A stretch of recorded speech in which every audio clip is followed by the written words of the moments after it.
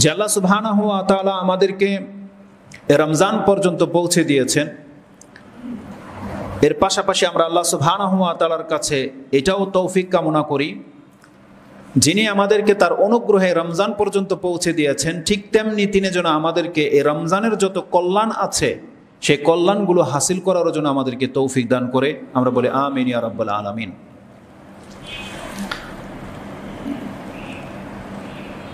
এই রমজান মাস যারা পেয়ে গেছেন, আমি হয়তো আপনাকে বুঝাতে সক্ষম নই যে আপনার মর্যাদাটা গত বছরে যারা ইন্তেকাল হয়ে গেছে, তাদের চেয়ে কতটা বেড়েছে, এটা আমি হয়তো নিজে বলে বুঝাতে পারব না। এই মর্মে হঠাৎ করে কালকে রাতে দুইটা হাদিস আমাদের নজরে এসেছে, যার ফলে বক্তব্যের ধরনটাই চেঞ্জ হয়ে গেছে। সেই হাদিস থেকে আমি যে জিনিসটি দেখতে পেয়েছি, সেটা হচ্ছে রাসুল্লাহ সাল্লাহ আলাইহে ওয়াসাল্লাম আমাদেরকে এই শিক্ষা দিচ্ছেন, এই সংবাদ দিচ্ছেন। প্রত্যেকটা মুহূর্ত যে যার থেকে বেশি পেয়ে যাবে, এটা তার মর্যাদাবান হওয়ার সব থেকে সুবর্ণ সুযোগ। মানে এই পৃথিবীতে আল্লাহ সুবহানা হওয়া তালা কাউকে যদি ষাট বছর দিয়ে থাকে, আর কোনো ব্যক্তিকে যদি ষাট বছর এক মিনিটও বাঁচিয়ে রাখে, তাহলে এই এক মিনিটের কারণে সে তার থেকে আকাশ এবং জমিনের মাঝে যতটা দূরত্ব, ততটা দূরত্বে পৌঁছে যেতে পারে। এটাই পেলাম। এই জন্য ওই বিষয়টা দিয়ে আমি আপনার কাছে শুরু করতে চাচ্ছি যে আল্লাহ সুবহানা হুয়া গত করোনা থেকে যাদেরকে মুক্ত করে দিয়ে এই রমজানে পৌঁছে দিয়েছে, আপনার উপরে কত বড় এহসান করা হয়েছে, আপনাকে মর্যাদাবান হওয়ার জন্য আল্লাহ যেই ব্যবস্থাটা গ্রহণ করেছে, এর সুক্রিয়া আদায় করে আপনি কোনোদিন শেষ করতে পারবেন না। রাসুল্লাহ সাল্লাহ আলহি আসাল্লামের হাদিস থেকে যেটা জানা যায়, যেমনটি বলেছি, আপনার মর্যাদা যদি এই রমজানের হক আপনি আদায় করতে পারেন, তাহলে জেনে নেন বিগত রমজানে ইবাদত করে যারা মারা গেছে, তাদের চেয়ে আপনি এই জমি থেকে আকাশ যতটা দূরত্বে, মর্যাদা ততটা দূরত্বে পৌঁছে আছেন। এটা বোঝাতে গেলে আমি দুইটা অ্যাঙ্গেলে আপনাকে হাদিসটা পেশ করি। রাসুল্লাহ সাল্লাহ আলহি আসাল্লামকে জিজ্ঞাসা করা হয়েছে আইউন্নাসি আফদল? এবং আরেকটা ভাষা আছে, মান খাইরুন্নাস কোন ব্যক্তি উত্তম? আরেকটা বর্ণনা আসছে, মানুষের মধ্যে কে উত্তম? মান খাইরান্নাস ফকাল রসুল্লাহ সাল্লাহ আলহি ওয়াসাল্লাম, মান তালা ওমরুহু ও হাসুনা আমালুহু। যেই ব্যক্তির লম্বা বয়স পেয়ে গেছে, আর সেই ব্যক্তির আমল যদি সুন্দর হয়, তাহলে এই ব্যক্তি হচ্ছে সব থেকে উত্তম মানুষ। তার মানে যেই ব্যক্তি ষাট সত্তর বছর পেয়ে গেল, আর এই ষাট সত্তর বছরের তার ইবাদতও অনেক, সৎ কাজের মাত্রা বেশি, তাহলে তার সমপর্যায়ে অন্য ব্যক্তি নয় যে হয়তো সৎ কাজ করেছে, পঞ্চাশ বছরে ইন্তেকাল করে গেছে, ষাট বছরে। মানে তার থেকে একদিন যদি কমে আগে মরে যায়, আর যেই ব্যক্তি একদিন বেঁচে থাকবে, আর তার যদি সৎকর্ম থাকে, তাহলে এই ব্যক্তি হচ্ছে উত্তম। মর্যাদাবান ব্যক্তি। এখান থেকে একটা উত্তম বলা হয়েছে। এটা ইমাম তিরমিজি রাহমাহুল্লাহ, তিনি তার চৌত্রিশ নম্বর অধ্যায় কিতাব জোহদে উল্লেখ করেছেন। হাদিস দুই হাজার তিনশো উনত্রিশ এবং দুই হাজার তিনশো তিরিশ, দুইটা হাদিসের মধ্যে এই কথাটা রয়েছে। মর্যাদায় কীভাবে বৃদ্ধি পাবে? এটা চমৎকার দুইটা হাদিস আমি আপনার কাছে পেশ করব যে একজন ব্যক্তি সুযোগ পেলে, সময় পেলে তার মর্যাদাটা কীভাবে বৃদ্ধি পায়। তালহা ইবনু ওবায়দিল্লাহ রাদি আল্লাহ তালানহ একজন প্রখ্যাত সাহাবি তিনি একদিন স্বপ্নে দেখেছেন সে স্বপ্নের ব্যাখ্যাটা রাসুল্লাহ সাল্লাহ আলহি আসাল্লাম কীভাবে করছেন, সেই হাদিসটা আমি আপনার কাছে পেশ করি। তালহা ইবনু ওবায়দিল্লাহ রাদি আল্লাহ তালানহ একদিন স্বপ্নে দেখেছেন যে দুইজন ব্যক্তি একই সঙ্গে জিহাদে, জিহাদের ময়দানে জিহাদ করতে নেমেছে। একজন খুব বেশি মেহনত করেছে এবং তাকে আঘাত করা হয়েছে, সে শহীদ হয়ে গেছে। আরেকজন ব্যক্তি ওই যুদ্ধে মরেনি, এক বছর পর্যন্ত বেঁচে ছিল। যেই ব্যক্তিটি জিহাদে শহীদ হয়ে গেছে, জান্নাতে দেওয়ার যখন পালা হয়েছে, এই তালহা বিন ওবায়দুল্লাহ, তিনি বলছেন, আমি জান্নাতের গেটে অপেক্ষমান। তখন যেই ব্যক্তিটি শহীদ হয়েছিল, সে আগে জান্নাতে ঢোকার জন্য আগে গেল। কিছুক্ষণ পরে সে বের হয়ে চলে এসেছে। তারপরে পরের জন গেছে, সে আর বের হয়ে আসেনি। তারপরে এই শহীদ ব্যক্তি আবার গিয়েছে। তারপর যখন তার সাথে সাক্ষাৎ হয়েছে, তখন এই শহীদ ব্যক্তিকে জিজ্ঞাসা করলাম, তুমি যখন প্রথমে গিয়েছিলে, তুমি আবার রিটার্ন কেন আসলা? তখন এই শহীদ ব্যক্তি তাকে জানিয়েছে যে, আমার তখন স্টেপ আসেনি। আমাকে বলা হয়েছে, তোমার স্টেপ ওই ব্যক্তির পরে। তুমি যাও, তারপরে তোমার সিরিয়ালে আসবে। তো আমার, এই জন্য আমাকে রিটার্ন করা হয়েছে। আমার আগে ওই ব্যক্তিকে জান্নাত দেওয়া হয়েছে। তারপরে আমার জান্নাতের পালা এসেছে, আমি জান্নাতে এসেছি। এই স্বপ্ন যখন তালহা ইবনে ওবায়দুল্লাহ দেখেছেন, তিনি পেরেশান হয়ে গেছেন। এবং সাহাবা একরামদের সাথে এটা নিয়ে আলোচনা করতেছিলেন যে এটা কীভাবে সম্ভব? একজন শহীদের চেয়ে ওই ব্যক্তি কি করে প্রথমে জান্নাত পেয়ে যেতে পারে? তারা পেরেশান, কারণ তারা জানে যে শহীদের মর্যাদা কি। সুবহান আল্লাহ তাদের এই পেরেশানি দেখে এই কথাটা যখন রাসুল্লাহ সাল্লাহ আলহি ওয়াসাল্লামের কাছে পৌঁছেছে ও হাদ্দাসাহু আল হাদিসা যা ঘটেছে রাসুল্লাহ সাল্লাহ আলহি ওয়াসাল্লামের কাছে, সেটা পেশ করা হয়েছে। ফকালা, মিন আইয়ালিকা তাজাবুন কোন জিনিসটি তোমাদেরকে আশ্চর্যিত করেছে বা অবাক করেছে বা তোমরা বিস্মৃত হচ্ছ? কোন ব্যাপারটিকে নিয়ে? তখন তালহা ইবনে ওবায়দুল্লাহ তার স্বপ্নের এই কথাটা বলেছে যে, ফাকালা। সে বলেছিল, কালু, ইয়া রসুল্লাহ হাজা কানা আসাদ্দার রাজুলাইনে ইজতিহাদান। এই যে যে ব্যক্তিটি, যে দুই ব্যক্তির মাঝে সে অনেক বেশি মেহনত করেছে, অনেক বেশি প্রচেষ্টা করেছে, সোম্মাস্তুশহিদা, এমনকি তাকে শহীদ করে দেওয়া হয়েছে। তার মানে সে শহীদ হয়ে গেছে। ওয়া দাখালা হাদ আল আখার আল জান্নাতা কবলাহ অথচ যেই ব্যক্তিটি শহীদ হয়নি, সে কীভাবে তার শহীদের আগে জান্নাতে চলে গেল? জান্নাতে দেওয়ার সময় তার সঙ্গীকে জান্নাতে আগে দেওয়া হয়েছে। এটা আমার আশ্চর্য লেগেছে। আপনি তো বলেন যে জিহাদের শহীদের মর্যাদা তো অনেক উঁচুতে। রাসুল্লাহ সাল্লাহ আলহি ওয়াসাল্লাম দেখেন তাদের ব্যাখ্যা বা রাসুসলাম যে জ্ঞান আমাদেরকে দিয়েছে। রাসুল সাল্লাহ আলহিহাস্লাম সাহাবিদেরকে বলতেছেন তখন ফকাল রসুল্লাহ সাল্লাহ আলহি ওয়াসাল্লাম আলাইসা কাদ মাকাসা হাজা বাদাহু সানাতান এই যে যেই লোকটা পরবর্তীতে জান্নাতে চলে গেছে শহীদের আগে, এই লোকটাকে সেই যুদ্ধের পরে এক বছর বেঁচে ছিল না? বলছে নাম কারু নাম ইয়ারসোল্লা তারা সেই ব্যক্তি এক বছর বেঁচে ছিল। ও আদরাকা রামাদানা ফাসামা, এই ব্যক্তিকে রমজান পেয়ে গিয়েছিল এবং সিয়াম রেখেছে। বলছে, কালু নাম ইয়ারাসোল্লাহ হ্যাঁ এই ব্যক্তি যে যুদ্ধে অংশ নিয়েছিল, সে শহীদ তো হয়নি, কিন্তু সে পরবর্তী রমজান মাস পেয়েছিল এবং রমজানের সিয়ামও রেখেছিল। তারপরে জিজ্ঞাসা করা হয়েছে, ওয়াসাল্লা কাজা ওয়া কাজা মিন সাজদাতে ফি সানাতে? এই ব্যক্তি কি এত এত নামাজ পড়েনি? এত এত সংখ্যায় তার এক বছরের সেজদা জমেনি? কালু, নাম। কালু, বালা রাসূলুল্লাহ। হ্যাঁ তার এত এত সেজদা জমেছে, এক বছরের সিয়াম তার জমেছে, রমজান মাস সে পেয়ে গিয়েছিল। রাসুসলাম যে কথাটা বলেছিলেন তাদেরকে, ফাকাল রাসুল সাল্লাহ আলহি ওয়াসাল্লাম, ফামা বাইনা হুমা আব আদো মিম্মা বাইনা সামা ইউল আর্দ. এই এক বছরের ইবাদত মর্যাদায় তার থেকে ওই শহীদের এতটা উপরে উঠে গেছে, যতটা উপরে এই জাম এই আকাশ জমিন থেকে আছে। একটা বছরের ইবাদত, একটা বছরের রমজান মাস পেয়ে যাওয়াতে সে সিয়াম রেখেছে, তার মর্যাদা কোথায় উঠে গেছে? দুজনই কিন্তু সমান গ্রেটের ব্যক্তি ছিল, দুজনই জিহাদে অংশ নিয়েছে। মর্যাদায় দুজনই সমান, কারণ দুজনই মুজাহিদ। একজনের আজান চলে এসেছে, শহীদ হয়ে গেছে, কিন্তু আরেকজনকে আল্লাহ আগামী বছরের জন্য ছেড়ে দিয়েছে। আল্লাহ চাইলে তাকেও মেরে দিতে পারতো, শহীদ করে দিতে পারতো। কিন্তু আল্লাহ সুবাহানা হুয়া তালা তাকে এইভাবে মর্যাদা দিতে চেয়েছে যে মুসলিম, ইবাদতগার, সৎ ব্যক্তি, আমলদার ব্যক্তি, সৎ লোক এই পৃথিবীতে যদি একদিন বেঁচে থাকে, এই একদিনই তার জন্য কল্যাণকর। একদিনই তার জন্য কল্যাণকর। রাসুসলাম তো ওই হাদিসে এটাও বলেছে একটা হাদিসে যে কোনো ব্যক্তি যদি মৃত্যু তলব করতে চায় সেজন্য এইভাবে চায় যে আল্লাহ যদি মৃত্যুটা আমার জন্য কল্যাণকর হয়, তো তুমি আমাকে মৃত্যু দাও। আর যদি বেঁচে থাকাটা আমার জন্য কল্যাণকর হয়, তাহলে তুমি আমাকে বাঁচিয়ে রাখো। রাসুলাম কেন বলেছে? যে মৃত্যু তলব করবা না, কারণ হতে পারে সে যা পাপ করেছে, এর মধ্যে সে তওবা করে নেবে। আর যেই ব্যক্তি ভালো কাজে লেগে আছে, তার সুবাহান আল্লাহ আলহামদুলিল্লাহ, আল্লাহ আকবর লাইলাহ তার সালাদ তার সাদাকা বাড়তি থাকবে।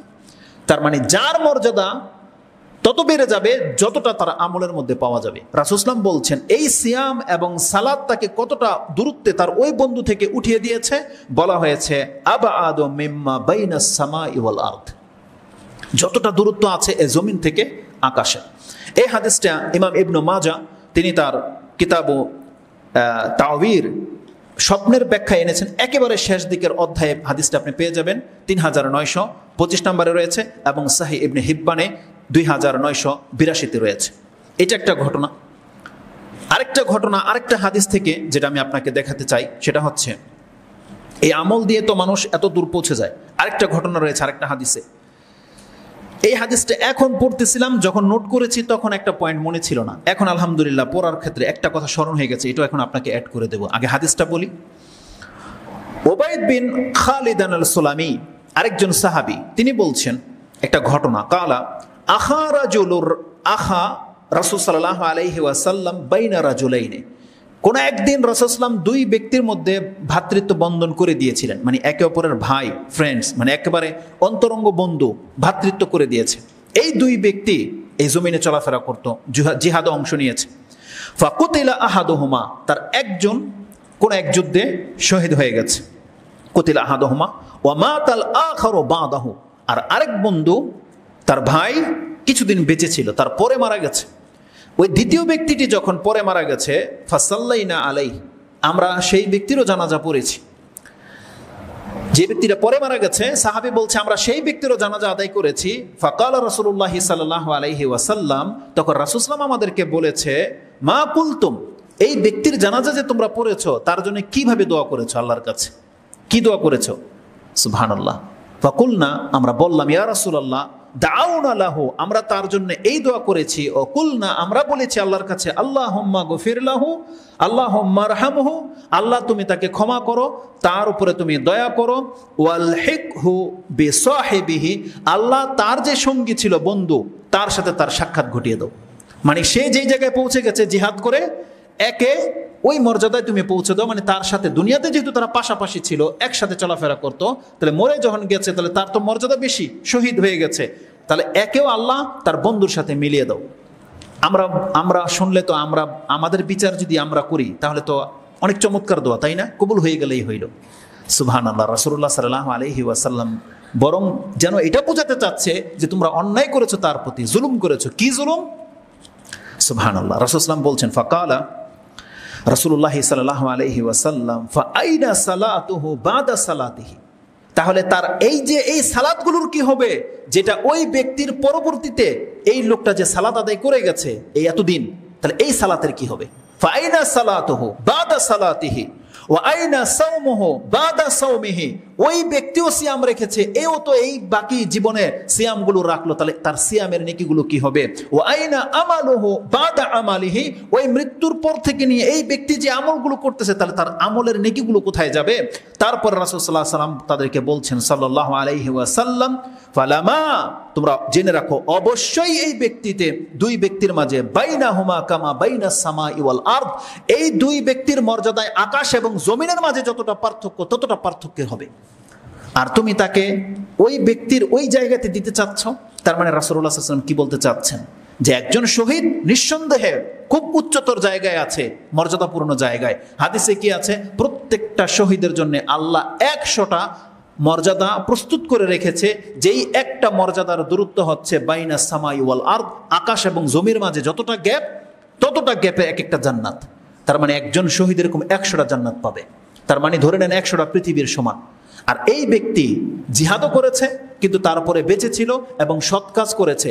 এক তো তার জিহাদ করার কারণে সেই মর্যাদাটা তার রয়ে গেছে এবং এক বছর যদি সে বেঁচে থাকে, একটা রমজান যদি পেয়ে যায়, সে যদি দান সাতকা করে থাকে, তার মানে রাসুসলাম বোঝাতে চাচ্ছে তার প্রত্যেকটা আমল তার মর্যাদাকে আরও বেশি বাড়াতে আছে। এই হাদিসটা ইমাম নাসাই এবং আবু দাউদ রাহমাহুল্লাহ এবং সাহি তারগিবা তারহিবের মধ্যে রয়েছে। নাসরুদ্দিন আলবানি এটাকে হাসান সাহি বলে প্রমাণ করেছেন। আবু দাউদ রাহেমাহুল্লাহ, তিনি তার কিতাবুল জিহাদের মধ্যে হাদিসটা উল্লেখ করেছেন। হাদিস হচ্ছে দুই হাজার পাঁচশো চব্বিশ এবং নাসাই, ইমাম নাসাই তার কিতাবুল জানাজার অধ্যায় এনেছেন একুশ নাম্বার এবং কোনো কোনো দেখবেন কিতাবে উনিশ নাম্বার অধ্যায়, জানাজার অধ্যায়, হাদিস নাম্বার হচ্ছে এক হাজার নয়শো পঁচাশি নাম্বার হাদিস এবং সাহি তারকি বা তারহিবের মধ্যে আপনি সালাতের অধ্যায় তিনশো আটাত্তরে পেয়ে যাবেন থ্রি সেভেন এইট তো ইবাদত মূলত মানুষকে এত দূরে পৌঁছতে পারে। এটা ছিল এই আলোচনার মূল হাদিস। কিন্তু এখানে বসে যে কথাটা মনে পড়ে গেছে রাসুসলামের এই কথা থেকে, এটা হচ্ছে আমাদের চরিত্র। দেখেন, আমরা অনেক সময় আপনাদেরকে মেসেজগুলো দেই, কিন্তু আমি ছোট বক্তা বিদায়, হয়তো কথাগুলোকে ওইভাবে মূল্যায়ন অনেকের হয় না। কিন্তু আপনাকে একটা কথা বলে দিই, কোরআন হাদিস থেকে আমরা যেটা বুঝতে পারি বা যেটা আমি পাচ্ছি হয়তো বা অনেক বড় ব্যক্তিদের কথা হওয়া উচিত ছিল, কিন্তু আমি আপনাকে বলে দিই, ছোট একটা কথা জেনে নেন। আমরা আল্লাহ সুবাহানা হুয়া তালার কাছে দোয়া করি, কিন্তু আমাদের দোয়ার ঘাটতিটা কি? আমরা নিজেরাই ফেসলা করে দোয়া করি যে আল্লাহ তুমি আমাকে ওইটা দাও। মানে সিদ্ধান্তটা আমরাই নেই, কিন্তু এটা দোয়ার আদব নয়। আপনি আল্লাহর কাছে দোয়া করেন, কিন্তু সিদ্ধান্তটা আপনি আল্লাহর দিকে ছেড়ে দেন।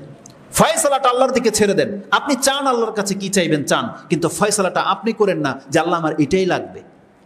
সেটা যে কোনো কিছুর ক্ষেত্রে হোক, আপনি কোথায় বসবাস করবেন, কাকে বিয়ে করবেন, কার সাথে সংসার করবেন ছেলে না, মেয়ে, কোনটা আপনার জন্য কল্যাণ করে আপনি জানেন না। আপনি চেয়েন না আল্লাহর কাছে যে আল্লাহ শুধু আমার ছেলেই দাও। আল্লাহ তুমি আমার ছেলে দিও না, মেয়েই দাও। আপনি এইভাবে সিদ্ধান্ত নিয়েন না। একটা মানুষের ছেলের চাহিদা থাকে, প্রত্যেকেরই আছে, সেটা ভিন্ন জিনিস। কিন্তু যখন হয়ে যাবে, ছেলে অথবা মেয়ে, আপনি সিদ্ধান্ত নিয়েন না, আপনি জেনে নেন, আল্লাহ আপনার জন্য যেটা কল্যাণ করে সেটি আপনাকে দিয়েছে। যে কোনো কিছু ক্ষেত্রে। এই সাহাবি দোয়া করেছে কি? যে আল্লাহ তাকে তার বন্ধুর সাথে মিলিয়ে দাও। কিন্তু রাসুসলাম দেখতে পাচ্ছে যে তার মর্যাদা তার বন্ধুর চেয়ে তো উপরে। অথচ সে দোয়ার মধ্যে সংকীর্ণতা নিয়ে এসেছে। অথচ আমরা যখন আল্লাহর কাছে চাইব, আমাদেরকে সংকীর্ণতা ভাব নিয়ে দোয়া করা যাবে না। আমাদের কাছে আল্লাহর কাছে দোয়া করতে হবে উন্মুক্ত অবস্থায়। আপনি যখন চাইবেন, রাসুল বলছেন, সালুল্লাহ জান্নাতুল ফেরদৌস তোমরা যখন আল্লাহর কাছে চাইবা, তখন জান্নাতুল ফেরদৌসই চাইবা। কম দামি জান্নাত তোমরা চাইবা না। তার মানে আমাদেরকে শিক্ষা দেওয়া হয়েছে। আল্লাহর কাছে চাওয়ার ক্ষেত্রে আমাদের মনে যেন কোনো সংকীর্ণতা না আসে। কোনো সংকীর্ণতা না আসে। আর আপনি ফয়সালাটা করেন না। দুই তিনটা মেয়ে দেখেছেন, একটা ভালো লেগেছে। আপনি এটাই আল্লাহর কাছে তলব করেন না যে আল্লাহ মাকে ওকে বিয়ে করাই দাও। এটা আপনি তলব করেন না। কোনো মহিলা, কোনো ছেলেকে ভালো লেগেছে, কোনো বাপ মা, আপনার নজরে মনে হচ্ছে এটাই পারফেক্ট আপনি আল্লাহর কাছে এইভাবে ডিসিশন সিদ্ধান্ত নিয়েন না যে আল্লাহ যে করে হোক, এর সাথে আমার মেয়েটার বিয়ে যেন হয়ে যায়। এমনটা সিদ্ধান্ত নিয়েন না আপনি। বরং আপনি সিদ্ধান্তটা আল্লাহর দিকে ছেড়ে দেন। আল্লাহ যেটা কল্যাণ কর, আল্লাহ তুমি সেটা করো। এই দুনিয়া হোক আর পরকালের যে কোনো জিনিসের ক্ষেত্রে আপনি নিজে সিদ্ধান্ত নিয়েন না। সেটা আপনার জীবনের যেই কোনো বিষয় হোক। আমি আশা করি এই কথাটাকে আপনার কাছে বুঝাতে পেরেছি। আল্লাহ যেন আমাদেরকে বোঝানোর, বোঝার এবং সে অনুযায়ী আমল করার তৌফিক দান করে। তাহলে রমজান মাস আল্লাহ আমাদেরকে পৌঁছে দিয়ে এত বড় এহসান করেছে, সুবহানাল্লাহ। বিগত রমজান যারা পেয়েছিল, তাদের থেকে এক কদম আপনি আগে বেড়ে গেছেন। আর যদি আপনি এ রমজানের হক আদায়কারী হন, সায়েম ব্যক্তি হন, সিয়াম পালন করা ব্যক্তি হন সালাদ আদায় করা ব্যক্তি হন এই জন্যই তো ওই আয়াতটাকে আমি বারবার আপনার কাছে স্মরণ করিয়ে দিতে চাই। আমার প্রায় বক্তব্যে আমি বলেছি, যেই যেই আয়াতটিতে সোরা মায়দাতে আল্লাহ বলেছেন আলিয়মা আকমাল তোলাকুম দিন আকুম ও আত্মাম তো আলাইকুম নেমা আল্লাহ বলছেন, বান্দা, আমি আমার দিনকে পুরা করিনি, আমি আমার নেয়ামতকে পুরা করে দিয়েছি, বান্দা। আল্লাহ প্রত্যেকটা ইবাদতকে আল্লাহ নেয়ামত বলেছে। নেয়ামত এগুলো, যেগুলো আমরা আজকে কদর করতেছি না। এক একটা শেষদার আসলাম বলছেন, এই জমিনে বান্দা এক একটা সেজদা দেয়, এটার বিনিময়ে তার যেমন মর্যাদা উঁচু হয়, তেমনি তার গুণা খাতা ঝরে দেয়। প্রত্যেকটা সেজদা তার প্রতিনিয়ত তার মর্যাদাকে বাড়াতি আছে বাড়াতি আছে। আপনি বাড়ান না, আপনার মর্যাদা কত হতে পারে? আপনি বাড়ান। কিন্তু দেখেন, আমরা এগুলো নিয়ে ভাবি না। আল্লাহ সুবহান তালা আমাদেরকে নিয়ামত দিয়েছে, ইবাদতগুলো হচ্ছে নিয়ামত। আপনার এক একবার সুবহান বলা এক একবার আলহামদুলিল্লাহ বলা এক একবার লাইলাহা ইল্লাল্লাহ এবং লাহাউলা কুয়াতা ইল্লা বলা, এটা প্রত্যেকটা আপনার ওঢেল নিয়ামতের মালিক আপনাকে করে দেবে। ওঢেল করে দেবে। আল্লাহ সুবাহানা হাত যেন এই জিকিরগুলো করার আমাদেরকে তৌফিক দান করে।